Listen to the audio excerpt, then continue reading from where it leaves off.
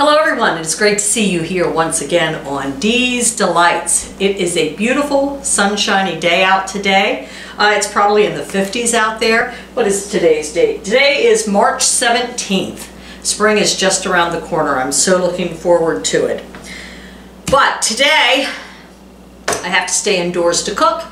Can't cook outside until we get the grill out. So right now I am going to show you, it says a cheesy turkey meatloaf. I have made before for you the four ingredient meatloaf, which is fantastic. I have had so many people comment on that, how they love it, how they've made it, and they make it again and again and again. Well, today I thought I'd try a little bit different and do it with turkey. See how that turns out. You can still make the ketchup and brown sugar glaze that I put on top of it, or maybe make some gravy, or some people put bacon on top. Whatever you want to do. Today I will make the brown sugar and the ketchup mixture for the top of mine. But let's get started. For this recipe, you're going to need, now I'm cutting the recipe in half because it's just Doug and I, we don't need that much meatloaf. So what you would normally do if you're going to make the full recipe and you have a family, you would want to do two pounds of ground turkey, one cup milk, one cup Italian seasoned breadcrumbs, two eggs, one teaspoon salt, one quarter teaspoon pepper, three quarter pound Colby cheese, cut into half inch cubes. And then you can make your optional topping for on top. So let's get started. I'm excited. Today I'm wearing pink. I feel pretty in pink. You guys remember the movie Pretty in Pink? Was there a movie called Pretty in Pink? Alexa, who played in the movie Pretty in Pink? Pretty in Pink's actors are James Spader, Kristy Swanson, Molly Ringwald, John Hughes, and Annie Potts. Okay, I remember Molly Ringwald and James Spader. That was many years ago. For some of you youngsters out there, you would not remember that movie. What year was it from, you ask? Alexa, what year was the movie Pretty in Pink from? I'm going to say in the 80s. The movie Pretty in Pink was released in 1986. 1986. I'm good. I'm good. All right, let's get started here. I am using Colby Jack cheese because I couldn't find just plain old Colby. Probably it was there and I was just too lazy to look. But sometimes when I'm in the grocery store, I want to get in, I want to get out. So I'm just going to measure out about a half a pound. Okay, so I'm going to cut them up into little teeny cubes. Uh, preheat your oven to 400 degrees. You're going to need a loaf pan. So let's get these cut up, just so I have all my ingredients ready. I already have a pound of turkey. It was 16 ounce pound, already measured everything for me, so I don't even have to guess. I don't have to rip it apart. So ground turkey, and this is 85% lean and 15% fat. Uh, so it's not going to have as much fat as the usual hamburger that I buy. I usually buy 80-20, or like I've told you before, if there's a good deal, I'll even go down to like 73-27. I don't know about y'all. To me, fat is what gives it flavor. You gotta have some fat. Okay, we're gonna try it with six ounces like it calls for since I cut it in half. That gives me, or Doug, a little treat of cheese cubes. Cheese cubes are good for you. I mean, not in an overabundance, but it is low carb. I got my monster size purple bowl here. Anti-skid, which is always good with me in the kitchen. It says, in a bowl, mix the turkey. So we got our one pound of ground turkey. Woo! That's a lot different texture than hamburger. Kind of stickier. Wow. Okay. Interesting. As you can tell, I've never made a turkey meatloaf before, so this is going to be new and exciting for me. We're going to add the milk, which is one half cup because I've cut everything in half. One half cup of milk, one half cup of Italian seasoned breadcrumbs, and I am just using Progresso breadcrumbs, Italian style. We're going to need one egg. I was tempted to scramble it before or beat it up before I put it in there, but you see how I'm living life on the edge. I didn't do it. It didn't do it today. Uh, one half teaspoon salt. One eighth teaspoon of pepper. And we're going to use six ounces of chunked cheese here in a moment. First, I'm going to mix everything else by hand. Then I'm going to fold in the cheese. And we're going to transfer it to a loaf pan, but I'm going to grease that up. Maybe with turkey it doesn't need greased up. Who knows? Here comes my hubby. Here he comes, Mr. Miller. Yes, I'm recording Douglas. We are going to be having a feast tonight of cheesy turkey meatloaf and air fryer mashed potatoes. oh, what meatloaf? he loves meatloaf. He actually does.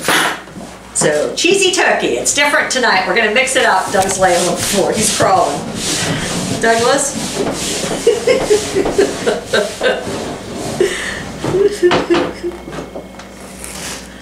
there he is. What do you have? Meatloaf. How soon? Uh, Douglas, it is. What time is it? It's 3:43 in the afternoon. It- I'm hungry. Remember, I told you to have a snack. Let me see how long I have to bake this for. Bake for one hour.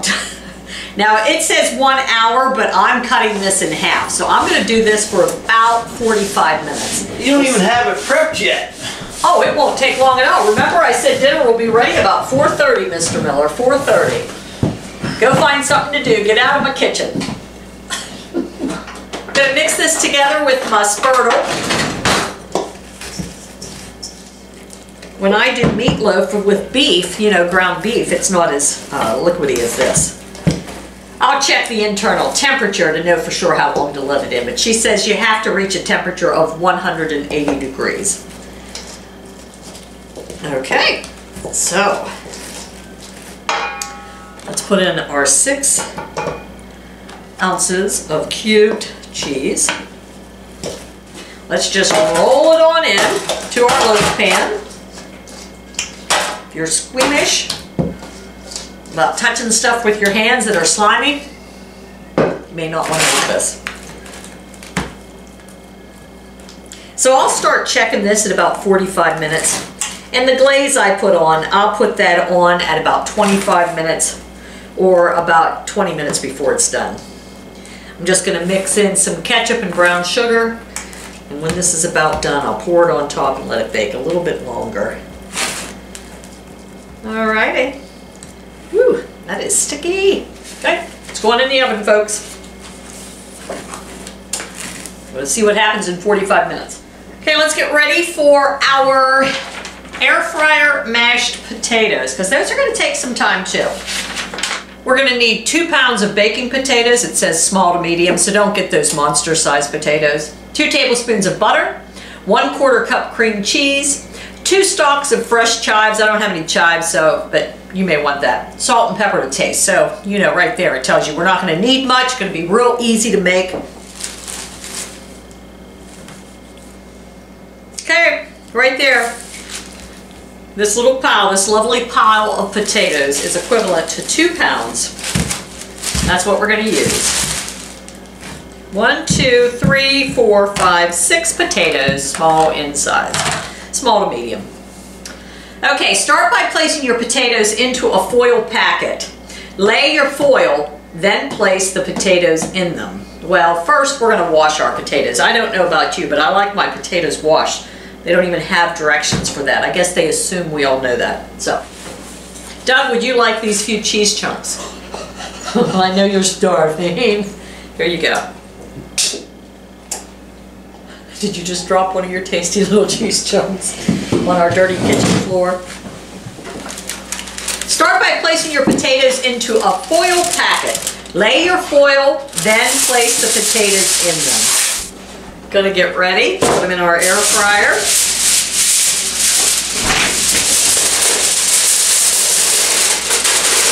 I'm just gonna make my little foil pouch right here. Put my potatoes in them see how this goes. All six of them.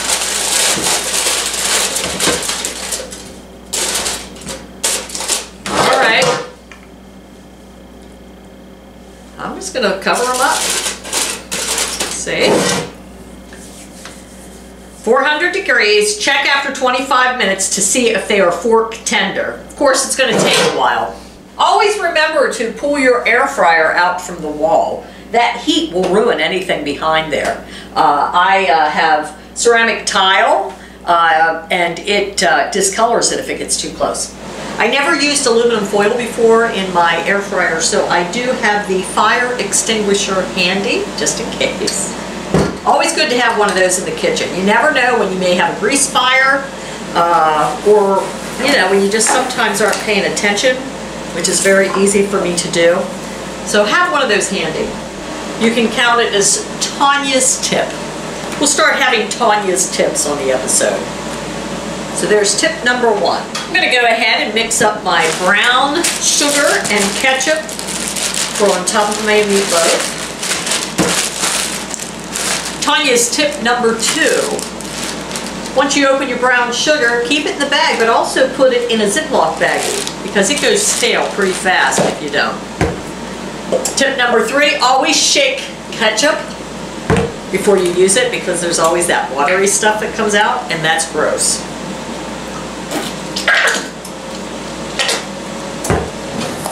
Now it takes a while for the uh, brown sugar to absorb into the ketchup. So you'll want to watch it for a little bit before you put too much in and then it gets too runny. And this is light brown sugar, but I have to get rid of it. I prefer dark brown for this.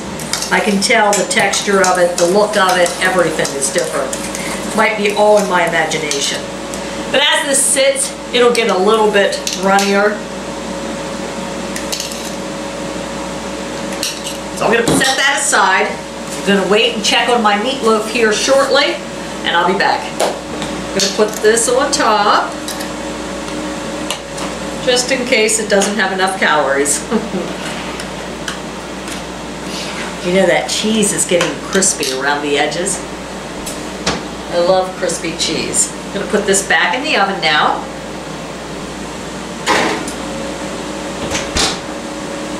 And then I'll check it in about 20 minutes. And we'll see if it's up to 180 degrees. If not, we'll pop it back in the oven like she says. Just about time for the fork test. Um, our meatloaf, if it's going to be cooked in 45 minutes, keep our fingers crossed. Uh, the potatoes, I'm going to mash them, but I do not have a potato masher. Usually, I use my mixer. But this says to use a potato masher or a fork. So, I looked online as a substitute. Another good thing to mash it would be the bottom of a mug. So I'm going to try that today, and then when I mix in the cheese and the butter, I'll switch over to a fork. But I'm going to use this to mash it to get the potatoes mashed down. We'll see how that goes. Tanya's tip number, how many tips have I given you today? Is this number three? Tanya's tip number three. Use a coffee mug, a tea mug, whatever you want to say, to use as a potato masher. Let's see, 48 seconds and then we can do the fork test. All right, I have my steamed broccoli in the microwave. Um, the potatoes have been in for about 34 minutes. So in another minute, I'm going to check it again. Uh, the meatloaf should be done in about five minutes. I checked it with the thermometer. It's getting up around 160. Actually, a safe temperature would be 165. She has 180, but you could eat it at 165, so we'll see. This thermometer has come in so handy. I've shown it to you before. ThermPro. Very inexpensive on Amazon. You can use it for candies, meats, whatever you want, and then you just stick it on the fridge. Magnets. Whoever came up with that is brilliant because I use it quite a bit. So much more convenient than the old time thermometers you used to have to stick in. Okay, I'm going to check my potatoes. I'm going to put them in for another four minutes. I like mine soft. Now they are getting much softer, but we crammed a lot into that little air fryer. So it's going to take a little bit of time. So I'm going to let mine in for about 40 minutes. I'm going to mark that down so I can write it on my recipe. Uh, and whatever they are in 40 minutes is what I'm going to eat. So Get your steps in while you're waiting for your food to be done. Here are some wonderful arm exercises, easy that anyone can do to get rid of the flab. Maybe about a minute, uh, maybe about 30 seconds this way, then flip it around, 30 seconds that way, while you're moving your feet back and forth. It's amazing how many calories you can burn just by moving. So there's no excuse to be still. You can stand. Whoops, my towel fell on the floor. You can stand and you're not in pain. You can do simple little exercises. Because at my age, it's hard to keep the weight off, especially when I want to eat so much. And I'm cooking in the kitchen all the time. All right, come on. There goes my veggies, my meatloaf. Woo! Everything's getting done about the same time. There's little globs of cheese on top. Let's test this. Well, it made it up to about 180, so it's good. We're good. Meatloaf is done. So if you cut it in half, it only takes about 45 minutes. And like I said, this is plenty for Doug and I. Just makes a nice size meatloaf. No matter how soft these potatoes are at 40 minutes, they're getting mashed. Getting mashed with a big old coffee mug. Okay, I'm gonna put them in here. So first, I'm gonna mash them with my coffee mug. Just grab it on top, push it down. It's hot. Those potatoes are hot. So once I get them mashed pretty good, I'm gonna add my cream cheese, butter, a little salt and pepper. And then I'll use a fork to stir them around.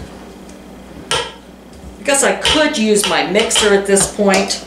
Let's go ahead, I'm gonna cut this up, break it up a little bit. Our two tablespoons of butter, our two ounces, which is also a quarter of a cup of cream cheese. I'm gonna put a little salt and pepper. Whoops, whoops. A little salt and pepper on here.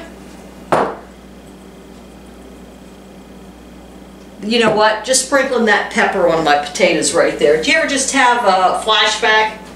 My grandma Way, I can just remember her putting pepper on potatoes. I haven't seen her in probably close 20 years. I miss her dearly, but all of a sudden that memory just came back. I can still see her face. Okay, so let's get it mixed up. You could put more butter on it. Now the one potato there, that was a little too firm. Most of them got soft. And I could use my mixer. I think I'm going to use my mixer. I want to get them to a little bit nicer consistency. And if I feel the need to add more butter, whoops. if I feel the need to add more butter, I will. We don't have to stick straight to the recipe. Yep, mixer's gonna work better than just the fork.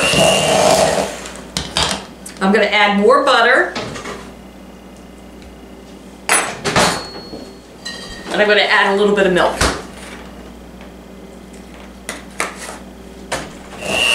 So I put about four tablespoons of butter. You can put more or less. I'm gonna need some more milk. Put it until you like the consistency. You could probably put more cream cheese in there if you want.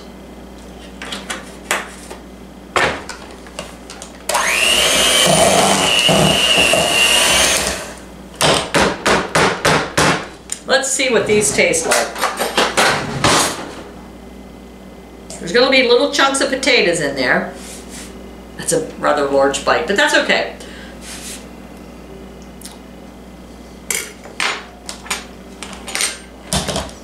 They're good potatoes. They have little chunks in them. I think you'll like them. Depending on how many you put in, put them in the uh, air fryer for about 40 to 45 minutes. A little cream cheese, a little salt and pepper, butter, a little bit of milk. And you got yourself some nice mashed potatoes with chunks in it. Very good. I like it. Let's try the meatloaf. I think I like the end with a little bit, let's see, of the crispy stuff. Yes, there we go. Look at that. All right. Gonna try a little bit now of the meatloaf. Wow, that's a whole different texture. Mmm, that's good. That Colby cheese makes a difference too. I mean, there's pockets of cheese in there. there's pockets of cheese in there. The potatoes are good. The broccoli, which came out of a bag, is excellent. So once again, another feast. Not in, you know, you didn't have much to do. Once you whip up the meatloaf, all you do is pretty much put your potatoes in the air fryer. You don't even need to peel them.